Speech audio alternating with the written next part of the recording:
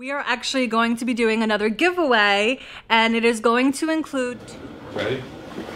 Let's do it.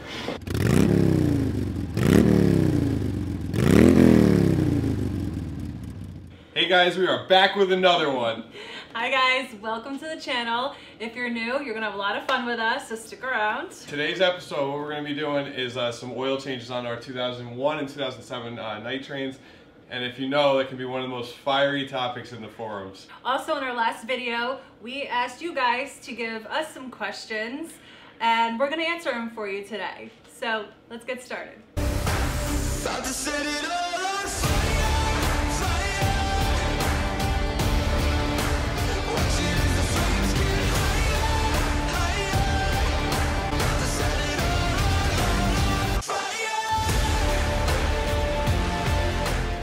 So for today's oil changes, what we're going to be doing is showing you the oils that we have picked out here.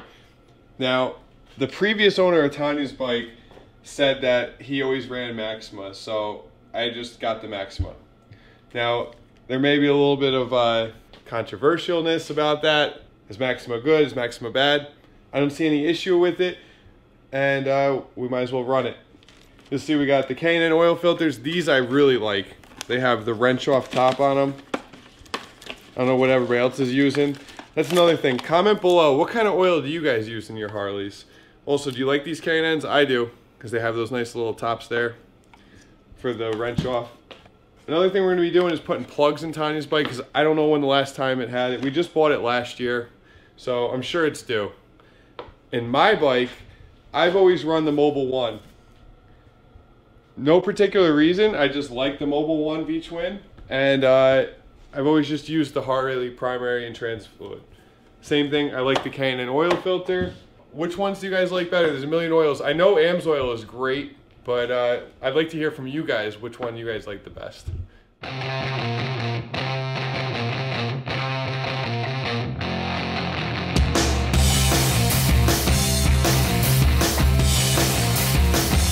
Right, guys, so while the oil is draining, just want to remind you all that we are almost at 5,000 subscribers. And as we discussed in our last video or a couple videos back, we are actually going to be doing another giveaway and it is going to include two shirts of your choice and also some other cool little things from our merch site. If you haven't checked out our merch shop yet, Make sure you do, up in the corner. We are actually running a promotion right now on all of our merchandise. So everything is gonna be probably about like three to four dollars cheaper. So make sure you check that out. Grab a shirt and come hang out with us. So I don't know what you guys do, but I've always just used tinfoil because I know this can be a mess. That is some technique. It works though, for the most part. The the way the oil filter is set up on the Harleys, I, they make these like special like rubber bendable hoses, but I'm kind of cheap and I don't really want to buy it, so I use tin foil. If it makes a little mess, you just clean it up with some degreaser. But comment below, let me know what your technique is. I've seen Coke bottles, like people cut out Coke bottles, the crazy stuff people have come up with. But I'd love to hear from you guys what you guys do for that. Also, if you haven't subscribed, do that because we got this big giveaway coming and you don't want to miss out on that.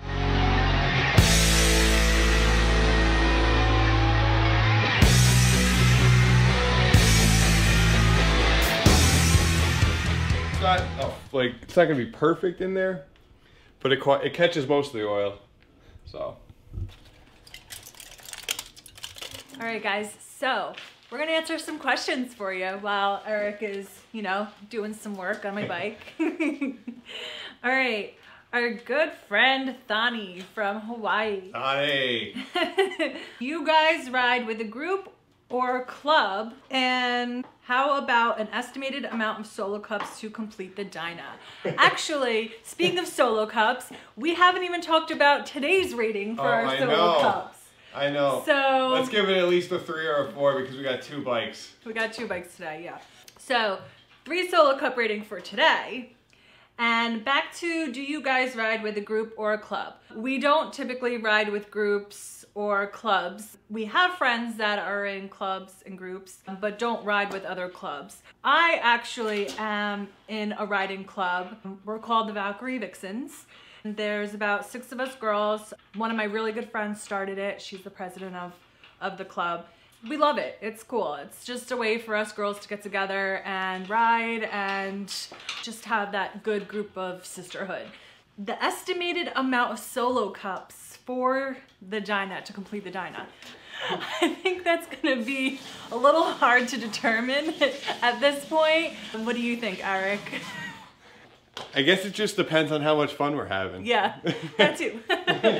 so, Thania also asked, where do you get your inspiration and do other riders in your town or state design them similar? Well, our inspirations, I don't know. I I kind of like it's yeah, I kind of just know what I like and What do I tell you what I about want. the What do I tell you about the vision? the vision. Eric always has this thing about vision. He, he sees this vision that sometimes I can't always see what his vision is, and vice versa. So But I guess I- it's why people are different. What I? So- I came out of the shower at like 11 o'clock one night. And I was like, I got it. I got what we're gonna do with the Dyna. So other people in our town, you know, I feel like our bikes are really different compared to a lot of the other bikes in our For the- area. For the most part. I think everyone has their own kind of things that they do to their bikes that make them look different or the same. Yeah, I wouldn't say there's like too many club style bikes or too many eccentric bikes. There's definitely a lot of stock and boring bikes. I'll tell you that. We go to like these bike nights and we look at these bikes like, ooh, a lot of people leave that stock on. leaving that reflector on the forks, right? Also, oh yeah, Tanya, where did you get your helmet? It's pretty badass. So this is my helmet. It is a full face. Um, it is also one of those modular ones. Yeah. So it can be a half helmet, it can be a three quarter, or it can be a full. I'm always gonna ride this as a full face because when you do take it apart to like a half face or three quarter, it's just weird looking. It doesn't look right. This is a Scorpion helmet. I don't even know what website I got it on at this point, but you can find them. They they have all different modular helmets that are in different designs and different colors. So you do have your option of what you want. I absolutely loved this design. I also added, I, as we talked about in my last video, I'm a little flashy, so I added some, I don't know if you can see it on the camera, but I did add my own bling to it. So I added the studs on there, the rhinestones, and the horns. The horns I got on Amazon, and it did come with uh, like 3M tape, but I didn't trust that. So I, to be honest, I crazy glued them on. so this is my helmet. It flips up. It actually has a vent here, so you can open and close. And uh, this is really cool. I like how that flips up there and it's just that part. But yeah, I absolutely love this helmet. We're not sponsored by Scorpion, but I do really love this helmet so much. I do get a lot of compliments on it as well. I think that's gonna also answer, we have another question in there, if we ride with full face helmets. And up until Yes, probably did. about a year or two ago, we always rode with we always rode with half helmets. I feel like as I got older, I wanted to jump into the full face helmet just for safety reasons. We have two kids now, two boys. They're one and gonna be three actually on April 5th. So that's kind of more the reason I went to a full face. Eric actually went to a full face well before me. Now that I do have a full face, it's it's great. I love it. Thani, thank you for your questions. I hope we answered them to your liking.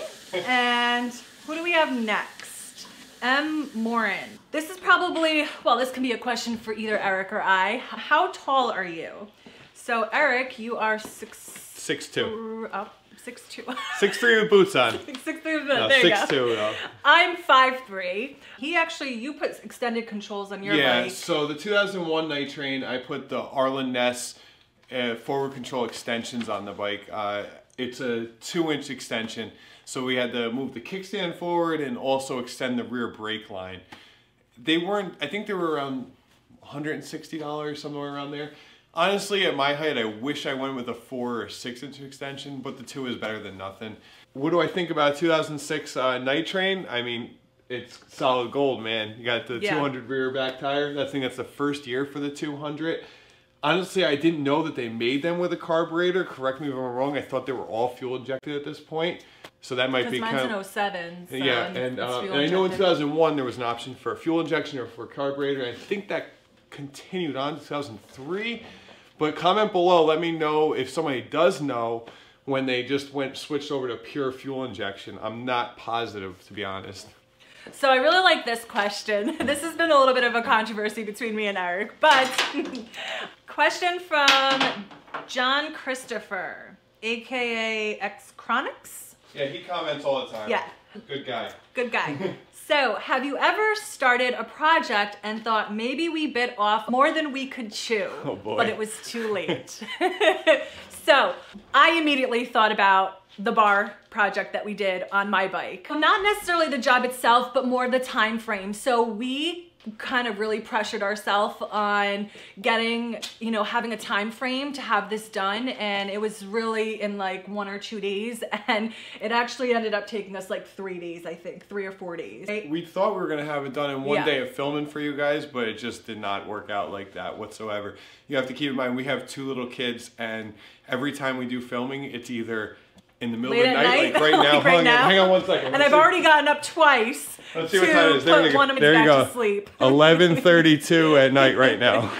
Eric thinks something a little differently. So, what does Eric think? What, my the one project that I bit off more than I could chew was when I lifted my K5 Blazer. I did it on the driveway on my back, pretty much by myself, right? Unfortunately, we did not, we were not recording No. at that time, so we don't really have any footage of that. But if we did, you guys would laugh. Yeah, I mean, it, it's a 1980, and everything was original on it. I literally was sawzalling and whiz wheeling everything off. I had a couple friends come over and help me out big time, but for the most part, I was alone. it was a long I came road. out and helped a couple yeah, times. it was a long road. Okay, Brad Carlson, another one of our favorite fans. yes. What's up, buddy? Have you two ever gone on a trip with your bikes and gone camping? We have not done that. Not camping. But Not we've gone on camping. trips. Well, we've gone on trips with our bike. We, we've done Americade a couple times in Lake George.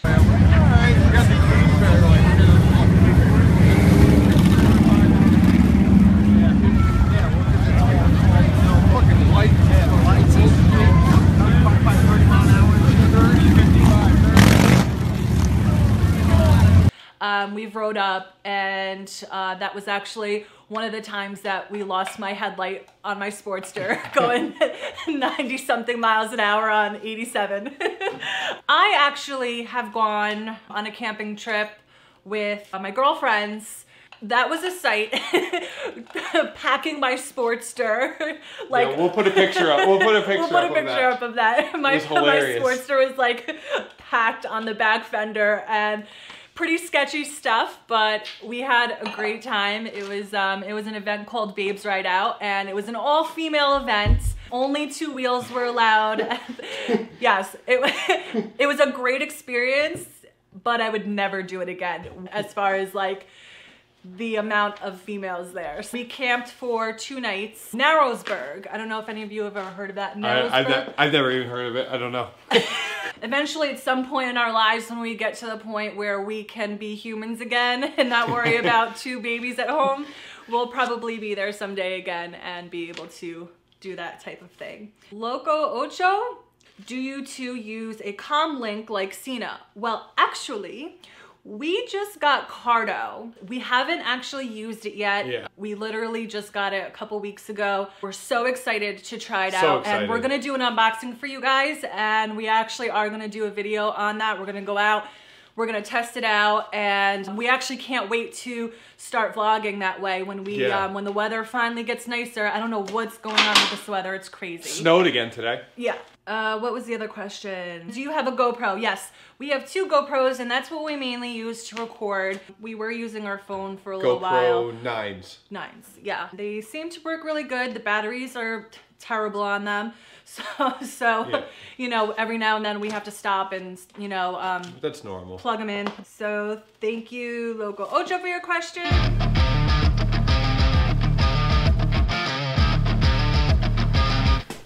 Don't forget your new gasket.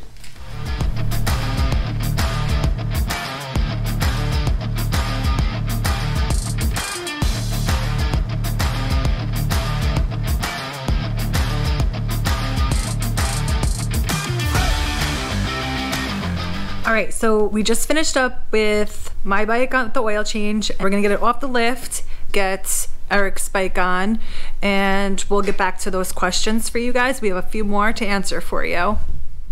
Yeah, so I just had a couple things to tell you. So I haven't checked these plugs since we had them. So luckily I got a brand new set. I gapped them before, but yeah, these things were pretty pretty shot. Um, you also noticed that uh, you only saw me change the engine oil and the primary. That's because the transmission fluid was literally just changed when we put the bars on. yeah. So that's why you only saw me do the two. And uh, that's that. Let's get this piece of junk off the lift Hey. and get on to my bike.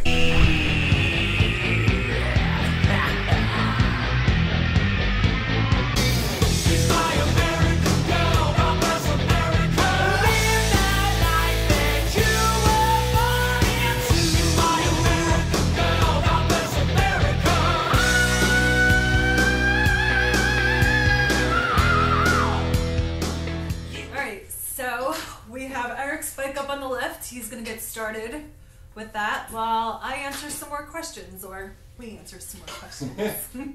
Don't forget about me back here. All right, Brian Blasick. What brand of rear shocks are you running on your Softails? Stock. Wait, is that a joke? No, they are they are oh. stock. They just have like the lowering pins in them. The the Burly kit or the progressive kit, whatever one it was, but they're both just like the Burly pins that you'll see. Um, I did at one point have aftermarket shocks on this, but I was destroying my back. so I went Yes, back to stock with lowering pins. Okay, Zazzle. Have you ever considered a fat tire for the Dyna build that would really make it a custom and cool? So we love the fat tire look, obviously. Unfortunately, that's just not what we're going for with this build. I think I would appreciate the fat tire a little bit more like a Dyna Wide Glide, the one with the, like the the wider front forks and stuff. I'm not saying it wouldn't look awesome on that, and just not going in that direction with this Yeah. bike. We're going for like yeah, this somebody like club style bike a little bit uh, with our own twist on it. So, Yeah. but we want something that handles good and. Yeah, we're kind of stick to the fat tire like on these kind of on these kind of bikes, but uh, maybe the next bike we will. Maybe Yeah. the next bike.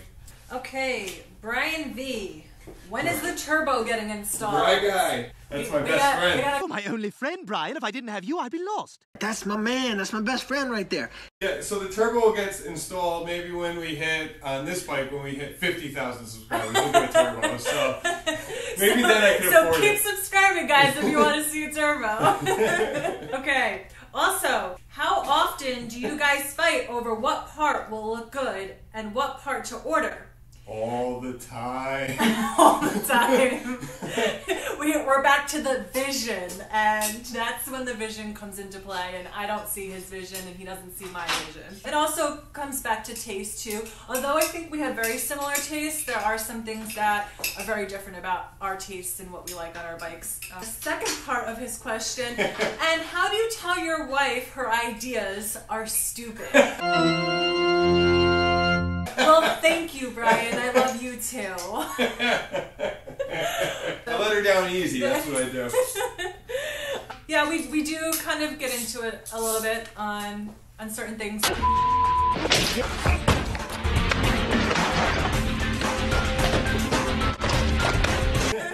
I think what's great about us is that we're productive arguers, so we don't really let it get to our lives. Thanks, Brian, for your questions. Jason Casey would love to see an episode of a self tuner upgrade and the steps you go through on the 2007. Possibly a FP3. So mine is already tuned With the fuel pack. with pack. the fuel pack. There's really not much more we can do with it. Maybe in the future we'll do little updates. I can do a video like that, or Yeah. maybe the next bike we have we'll be we'll do a fuel pack tune on it. But this bike was already done, taken care of a long a long while ago. So thank you for the question though, Jason. Last question, Dustin Walker. Are you going to install airbags on any builds in the near future? So as far as airbags go, yeah. Uh, if they weren't so damn expensive, I would have done them on my bike a long time ago. But for some reason, the Softails, uh, they are so expensive for these bikes. But uh, maybe if we do some kind of like Road King or Road Glide, I mean, my dad's bike's on air. It's pretty sick. It is sick. So we'll get that bike on the channel soon. Yes, And we'll show you yeah. guys around a little bit. It, it, it's so badass. So Absolutely. And we haven't forgotten about the Dyna guys. We have a lot of parts coming in still for the build. Also, there's a lot that we're doing to the bike that we kind of need nicer weather for to have that warmth to do what we need to do to it. I'm not going to give anything away, but that's all I'm going to say. Actually, we did have one more question. Um, we actually got it on our Instagram at VP underscore customs, which you can follow us at. someone asked about uh, what's in those cups. Oh, they're solo cups. we Um, are. he also added that he thought you were. He thought um, I was a vodka guy, and guy. he is right. I mean, Yeah. I'm not solely like into anything specific, but yeah, Tito's vodka. If you want to send a sponsorship over, we'll love it forever. We do have one more. Oh, Chris McFarland, another one of our loyal subscribers. Yeah, always always, always chiming in. Why don't you have James and Jimmy on more? We need to see Jimmy on two wheels. Scary thought, but I'd enjoy it. LOL. So, if for those of you that don't know, James and Jimmy, James is my brother, and Jimmy is his co-host of the Small Town Murder podcast and Crime and Sports. And um, If you don't know them, check them out. Awesome, awesome, awesome. Yeah. Uh, podcast. Uh, my favorite is the Small Town Murder because I'm, as like most women love true crime, true right? crime. so. So funny thing, um, Chris, Jimmy Whisman actually has a Softail Deluxe that he's been building for a long time, and Yeah. he rides a lot. So it might not be as scary as you think because he's a pretty yeah. bad dude. You got, you should see him. Uh, I've seen some, seen him ride, and he is pretty good. Yeah. That is it for all our questions. You guys are always welcome to ask more, and we can always do another video where we add in, you know, the questions to whatever we're doing that day, and we'll answer them for you. Let's see what Eric's up to behind us here. Yeah, so we just finished draining the, the transmission fluid out of my bike, and uh, very little uh, material on the magnet. So I was happy to see that, especially after all, all my rolling burnouts and clutch dumps. Transmission's not too angry with me, so that's a plus. Yeah, mine was a little messy because of all the burnouts Right. that I do.